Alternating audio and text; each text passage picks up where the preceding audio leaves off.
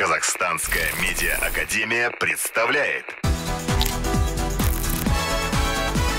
Медиа-репортаж Здравствуйте! Вы смотрите медиа-репортаж на телеканале Казахстанская медиа-академия. И с вами я, Алена Шевцова. Читая хорошие книги, ты разрываешь кандалы времени, доказывая, что люди способны на волшебство. Мы находимся в Национальной библиотеке на церемонии премии литературного конкурса «Алтын Калам». Какое же произведение в этом году займет главные строчки в номинации «Лучшая поэзия года»? И кто он, автор лучшего романа на казахском языке? Интересно? Тогда вперед! Литературный конкурс «Алтын Калам-2020» проводится уже девятый раз. В этом году приняли участие 408 авторов из Казахстана, Израиля, США, Монголии и Центральноафриканской Республики. Особенностью данного мероприятия является то, что участвовать может любой, вне зависимости от места проживания, возраста и рода деятельности. При этом есть право соревноваться сразу в нескольких номинациях. Итоги конкурса «Алтын Калам-2020» впервые объявили в режиме закрытой двери. В церемонии награждения участвовали только победители и представители СМИ. алтын қалам өздеріңіз білесіздер ең алғаш 2009 жылы құрылған болатын 2010 жылы алғаш рет ұйымдастырды кеше мынау архивті ақтарып қарасам ең алғаш рет 65 автор 80-ден артық шығарма келіп түскен екен ал кейінгі жылдары авторлардың бәрі көбейіп алты жүз жеті жүзге жеткен жылдары да болды шығармалардың саны мыңнан асқан да жыл болды Книга, которую вы прочитали больше одного раза. Это книга по психологии и тонкое искусство пофигизма, которое учит разбираться в себе и с легкостью относиться к жизни. Я бы советовала ее всем прочитать тем людям, у которых есть беспокойство. Это «Цветы для Джернона» Даниил Кизбол. Ну, я бы сказал, это 1984 Джорджа Лоу. Отличная книга.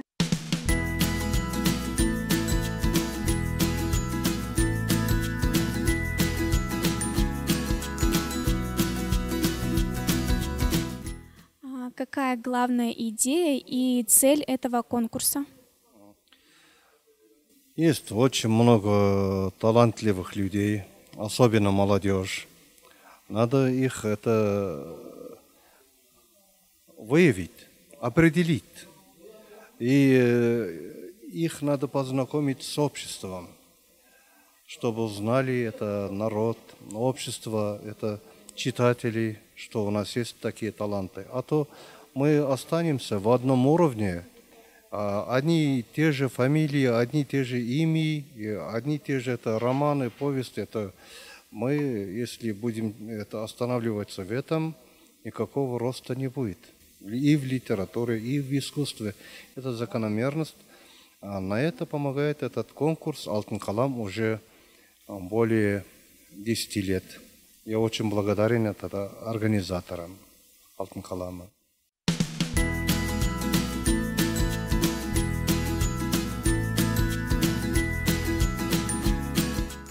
Каким критериям определялись победители? Ну, например, э, есть жанр киносценарий и драматургия. Ну, можно было, конечно, второе, третье место э, поставить, но как в прошлом году, как позапрошлом году, такие уже лучших э, произведений, я думаю, не было в этом году. Мне очень понравилась эта пьеса Хуандак Тумембая. Сейчас это нет комедии, которые критикуют наше общество. Мы и боимся от критики. А критика всегда нужна. Мне это произведение напоминало это э, ревизора э, Гоголя.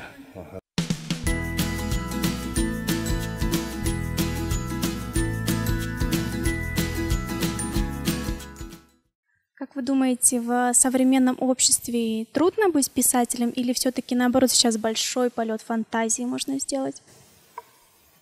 Конечно, я думаю, большой полет. У нас сейчас есть очень многие возможности. Очень много, чтобы, э, как бы сказать, вырабатывать это свой талант. Есть это сейчас всюду можно это, это как бы сказать, да, возможность, чтобы доказать свой талант. Талант. А, да, конечно. Как раньше не сидишь это за столом и только сдаешь это в издательствах, например. После этого это издается книга, после этого только признается, например, талант. А сейчас, сейчас-то есть очень много возможностей. Поэтому, мне кажется, сейчас надо, именно сейчас надо, процесс должен идти. Сейчас то должны это выявить свои, свои таланты, наш молодежь, или, как бы сказать, не раскрытие таланты. Сейчас прекрасная возможность. Согласна с вами. Главное трудиться и стремиться к этому. биылғы алтын қалам әдеби жүлдесінің жылдың үздік прозасы аталымы бойынша жеңімпазы ертай айғалиұлы дипломмен марапатталады Құтты болсын.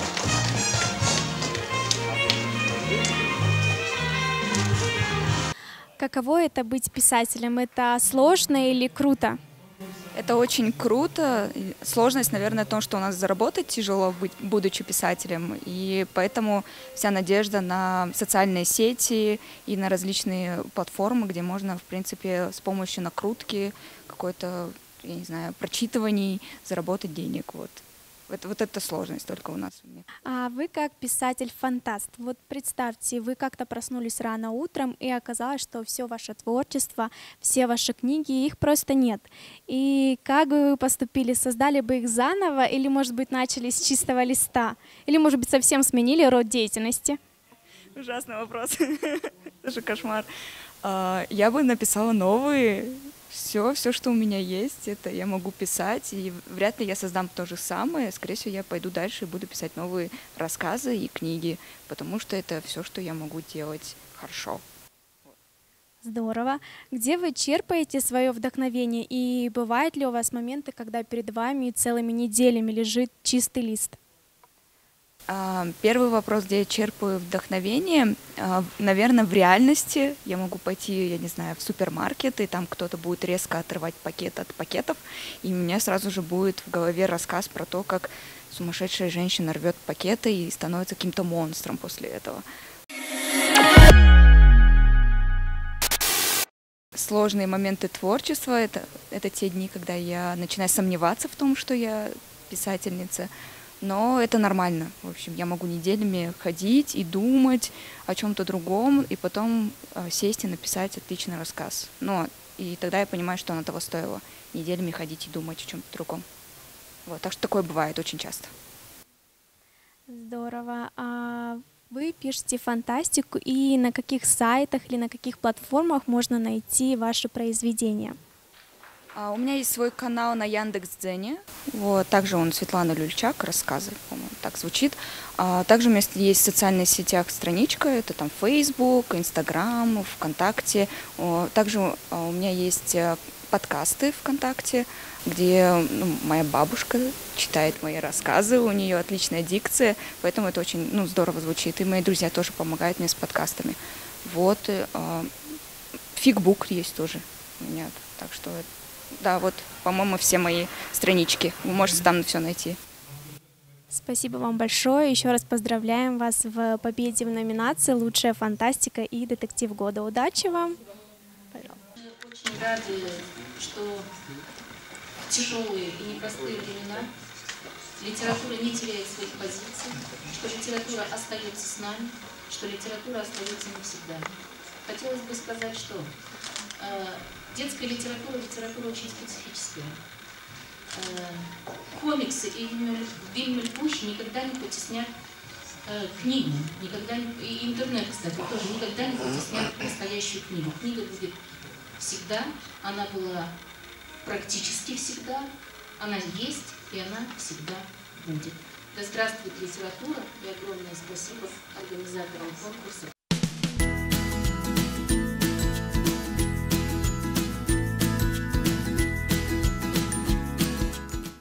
Как, по вашему мнению, что лучше, современная литература или все-таки классика?